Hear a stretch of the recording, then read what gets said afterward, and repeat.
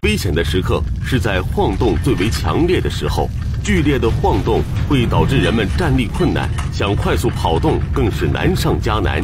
所以，震时先躲，在晃动停止后迅速撤离才是明智之举。地震发生时，符合抗震设防要求的建筑物整体垮塌的可能性较小，绝大多数的建筑物只是遭受不同程度的破坏，损而不塌。